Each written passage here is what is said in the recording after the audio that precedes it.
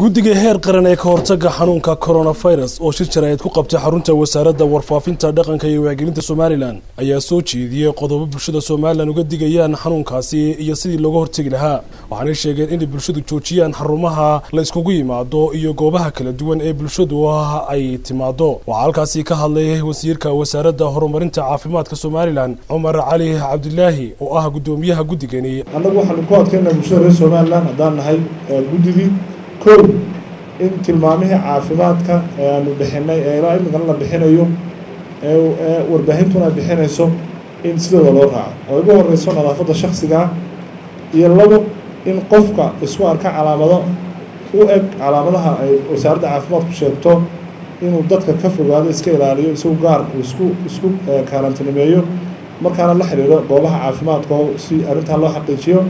Saddex in dadku wixii aan dee aanu horena u sheegnay ah isku imaatidana laga maarmaanka aan ahayna in la yareeyo kulli wala faahfaahin doonaa. Toban dambeysaa waxaa weeye bulshada waxaan u sheegaynaa in xogta xanuunkan la xidhiidha sida looga hortegayo sida loo maareynayo ay noqoto xog ku kooban oo keliya wasaaradda caafimaadka oo adeegsan doonta guddida qaran oo iyadna ay u xil saaran tahay wasaaradda warfaafintu inay gudbiso. Arrinkaasna waan adkeynaynaa ugu dambeyntii waxaan rabaa inaan kaga baxo inagu dal ahaan waynu diyaargarownay ama ha noqoto inaynu helno agabkii ugu horreeyey ee lagu tijaabin karo xanuunkaasi ama ha noqoto goobaha inugu talagalnay in dadka haddii bilaahi ma keenay qof uu xanuunkaasi dee uu yimaado uu soo rito lagu lagu lagu daweynayo ama ha noqoto inaynu imika haw qayb ahaana helay hawl adagana ugu jiro si aynu heli lahayn agabka kala duwan ee xanuunkan lagu waajahayo hawl fiican baynu haynaa laakiin dee xaqiiqadu waxay tahay adduunyadii colays weyn buu xanuunkaasi ku hayaa. Wasiirka wasaaradda arrimaha gudaha somalilan maxamed kaahin axmed ayaa sheegay in ka xukuumad ahaan tallaabo adag ka qaadi doonaan ganacsatada reer somalilan ee miciishada qaaligareeyey islamarkaasna bulshada ku qaaligareeyey nimankii lagu odhan jiray ganacsatada yaryar ayaa raashinkii qaaligaraynaya ayaa intii dhaweyto waa ogeydeen waxaa shir jaraa'id qabtay rugta ganacsiga. Ganacsiyada waaweyn ee muwaaridiinta ee wax soo dejisa waxay xaqiijiyeen inaanu dalka raashin la'aani jirin inaanu raashinkuna go'aynin inuu raashinkuna imanayo. Dabadeedna ganacsatadii xaafaduhu ay ka iibsanayeen raashinkii waa la qaaligareeyey waa masiibo labaad oo coronaviruskii noogu sii darsantay. Qoladaa waxaanu leenahay dowladduna go'aan bay ka gaadhay guddidu go'aan bay ka soo saartay ciidamadii way nala fadhiyaan waa la baadhayaa waxaan leenahay dadkaa tallaabaynu ka qaadaynaa sharcigaynu horgeynaynaa bulshada reer somalilan waxaynu leenahay bulshadu iyadaa isdhibta bulshadu ayadaa isdhibta bulshadu ayadaa waxaanay danteedu ku jirin taageerta marka waxaan leenahay bulshadu ciidamada biliiska iyo ciidamada kale ee amniga iyo guddida ha la soo xidhiidhaan ha u sheegaan nin allaaliya ninkii laba doolar ku daray ama hal doolar ku daray muceeshadu siday markii hore u socotay.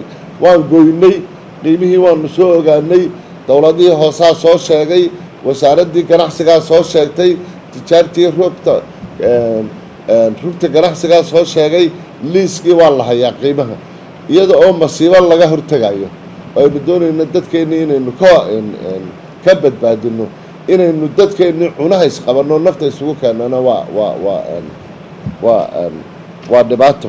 Wasiirka wasaaradda warfaafinta dhaqanka iyo wacgelinta somalilan ahna afhayeenka xukuumadda somalilan ayaa fariin dheer u diray warbaahinta somalilan. Waxaanu sheegay inay dhinacooda ka qayb qaataan wacyigelinta bulshada ee xanuunkaasi. Waxaan rabnaa inaan qolada warfaafinta in yar kala hadlo. Marka ugu horeysa tviyada brivatka iyo dhammaan mediyaha brivatka waxaan ka codsanaynaa inay soo join gareeyaan siyaasadda dowladda ee lagula dagaalamayo xanuunkan oo ah in ay fariintu si isku mida u baxdo si isku mida loo daawado oo ay noqoto mid uniformally si taxadar leh loo sheego oo ummadda u adeegta ee aan ka adeegin. Waxaynu rabnaa in sources kastaa uu yeesho meesha uu ka soo baxay meel laga hubiyo. Wasaaradda caafimaadka ayaa tilmaamaha leh. Dhakhtarnimada iyo dhakhaatiirta ayaa leh. Laakiin wasaaradda warfaafintu waxay yeelanaysaa in ay hagto dhammaan wax alla warfaafina ee ku saabsan cudurka. Waxaanu magacaabaynaa wasaarad ahaan guddi arrintaa dardargeliya oo technical ah oo guddigan qaran hoos yimaada tviyada qaranka qaara nala shaqayn baa jira.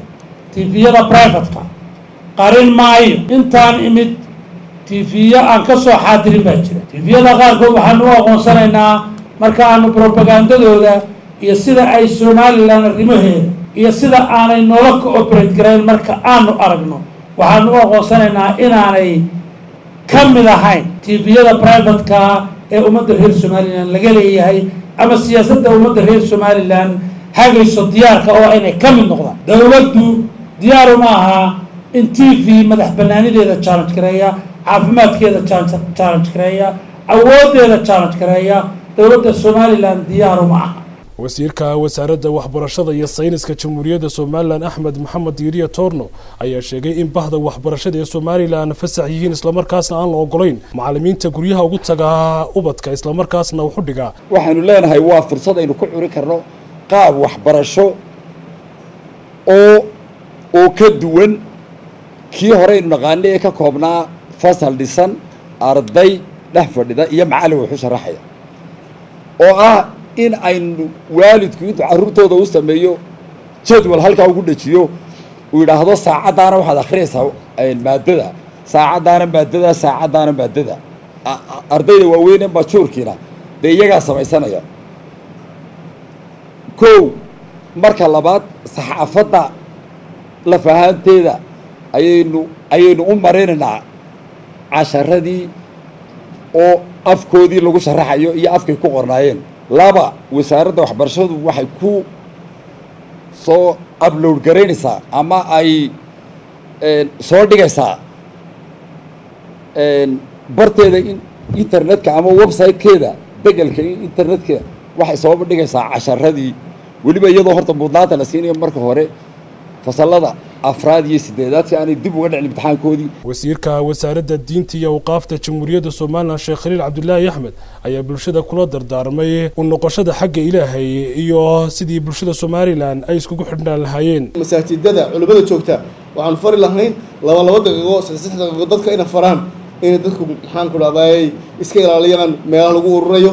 Dabcan masaajidada maynu maynu xidhin weli laakiin ilaahay laguma keene hadday timaado oo kayska la ogaado oo xanuun la ogaado qasab bay noqonaysaa in masaajid la isugu imanin oo guryaha lagu tukado oo ilahay halkaa lagu baryo waayo asbaabta loo baahan yahay waayo qofku markuu musaafir musaafirka yahay waajib kuma aha jamaci. Haddaad musaafir tahay jamac iman maysa gurigaas ka tukanaysa. Sidaa darteed haddii ay dhibaato timaado waajib bay noqonaysaa inay dadka badbaadiso addaysa badbaadiso doctor axmed xuseen ciise ayaa soo bandhigay dhinaca caafimaad ee xanuunkaasi. Isagoo arrimahaasi ka hadlayay wax hadaladiisii ka mid ahaa.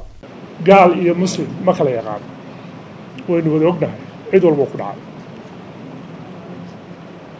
Wanaagga aynu arkaynaa waxa weeye waa mawjad sida cudurradii ka horreeyeyba ay u dhaceen ee la midka ahaa waa mawjad weeye mawjadaasi adduunka way soo wada maraysaa meelihii ay hore u soo martay way ka baxday.